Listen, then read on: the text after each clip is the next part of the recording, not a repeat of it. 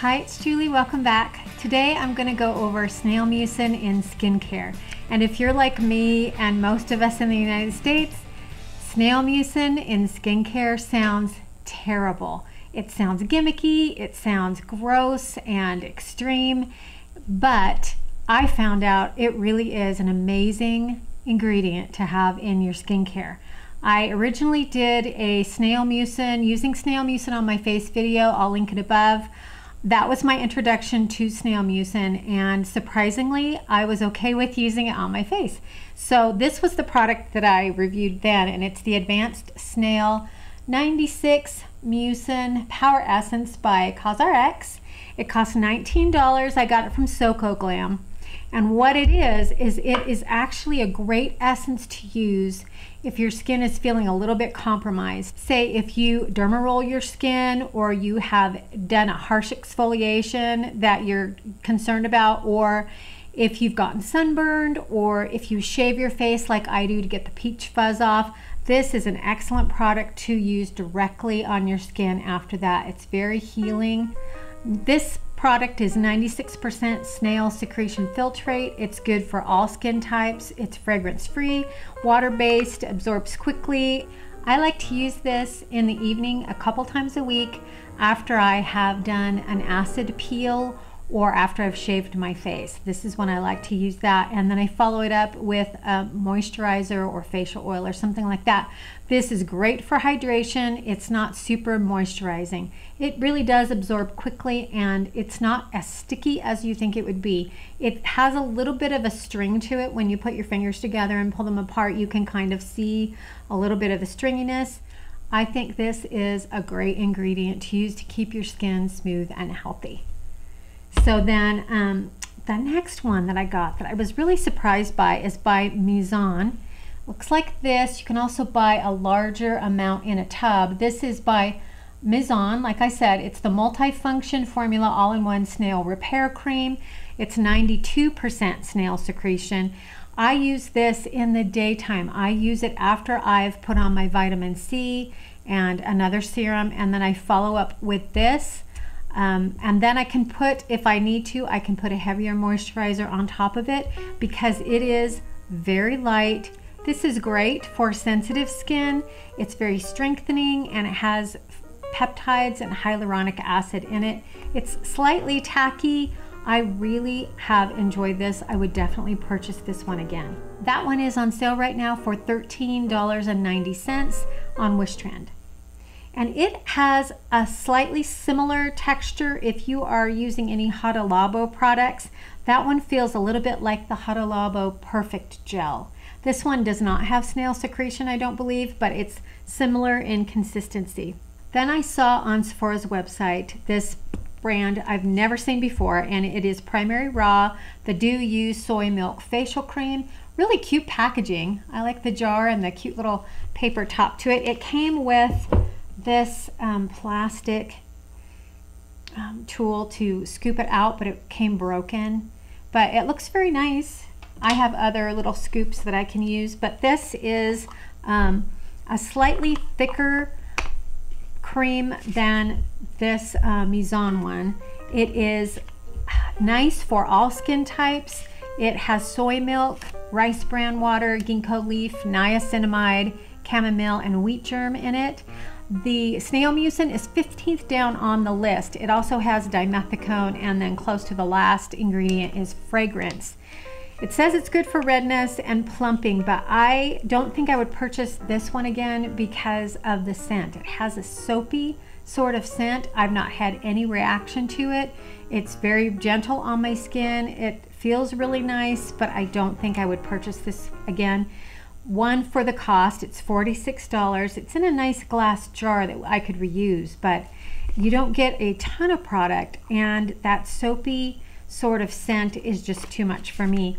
But I have used this at night. I've also used it after um, my serums in the morning before my SPF and it's worked out great. It's really, really nice. It does have a bit of a tackiness to it as well. But like I said, you can add your SPF on top of it to kind of cut that or you can just put your foundation right on top if you want your foundation to really grab onto something. So that another thing I picked up on Sephora's site is by Volition, and it's this Helix AMPM gel. It's really interesting because it is absolutely clear. And some people use this primarily as a primer instead of a moisturizer underneath their eyes because it is not very moisturizing. I found that to be the case. It is it is not very moisturizing, I'll just say that. You have to use the tiniest bit on your finger or it will pill up and not play nice with concealers or foundation or BBCC cream, things like that. It does um, have to be used very sparingly. It's also fairly expensive. It's $52 for this little teeny tub. Volition is a, a, kind of a new brand to Sephora. It's one of their all clean brands or clean at Sephora brands. That means that it has a certain percentage of all clean ingredients. This is gluten free, cruelty free, hypoallergenic. It is supposed to be blurring, good for fine lines and wrinkles, puffiness and dryness. It's got collagen, elastin, and glycolic acid in it. So it is a really nice product, but I would not be repurchasing this one. So the next couple things I'm going to show you, I was very surprised had quite a bit of snail mucin in it. I think it's the second or fourth ingredient. The first one is, first ingredient is water, titanium dioxide, zinc oxide, and then comes the snail mucin. It is a brand that is not considered necessarily skincare, or this product, these products aren't, but it is developed by plastic surgeons, and this would be your IT CC, your skin but better, SPF 50 CC plus cream. I never carefully read all of the ingredients. I did not know that this was so full of snail mucin and probably most of you out there using it because there's a lot of us don't know that that nice smoothing blurring texture that this gives you is predominantly caused by the snail mucin. So it is um, $38 at Ulta. It is such a popular CC cream. That's what I'm wearing today. I love it. It's my go-to. And now those of you who didn't know know that it is full of snail mucin. So you don't need to be afraid of it. It actually is a great ingredient to really help blur and smooth your skin. It is also in the IT Cosmetics Bye, Bye Foundation. And same thing, it's like the second or fourth ingredient. It has it listed by active ingredients being the um, sunscreen, and then the inactive. So I that's why I'm not sure where it falls in the um, list of ingredients. This one is also at Ulta. It is $39. It's good for all skin types. And this one has seven fermented ingredients. Rice, coconut water, sea kelp, green and black tea, white ginseng, and pumpkin um, extract. This has um, powerful antioxidants and nutrition and intense moisture, and this makes me want to use this more the more I've been reading about it. I, both of these are excellent base products for your face. They do a great job evening your skin tone, and they have great ingredients in them as well. If you're undecided, if you want to try one of these, I would suggest that you actually go to Sephora because there you can get a sample. So these two are great bases, excellent. I love them both. I will definitely be repurchasing one or both of them um, for sure in the future. And then the last two things that I tried were masks. And this one I got from Peach and Lily. It's the Chubby Cheeks Lift and Plump. It's a great name. I really liked this particular mask. It was excellent. It was $6. There's no alcohol in this. It's supposed to be hydrating, smoothing. It left my skin dewy and I really liked it. Um, snail mucin is about halfway down the list on this one. I would repurchase this again.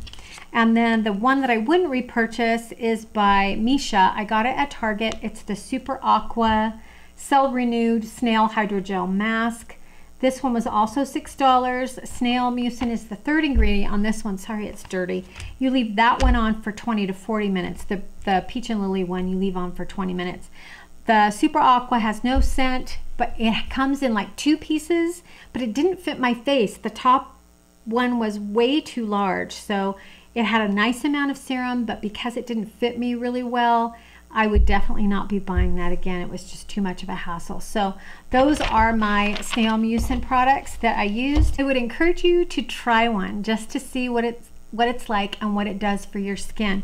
It is actually such a good ingredient. It's great for um, rosacea and acne scars, all kinds of things, fine lines, all kinds of things. So be brave, go ahead and try it. I also wanted to let you know that I will be only uploading once or twice a week for the rest of the summertime. I've just been too busy and had too many other things going on, so I don't want to be kind of tied down to the Tuesday, Friday schedule. So that will be a change for me this summer. And then I've missed the last two uploads because I've had an eye infection in my left eye. Could not put any makeup on and it really did bother me. Thank you so much to all of you who watch and support and like and comment on my videos. I really truly appreciate it. I'm so grateful for all of you.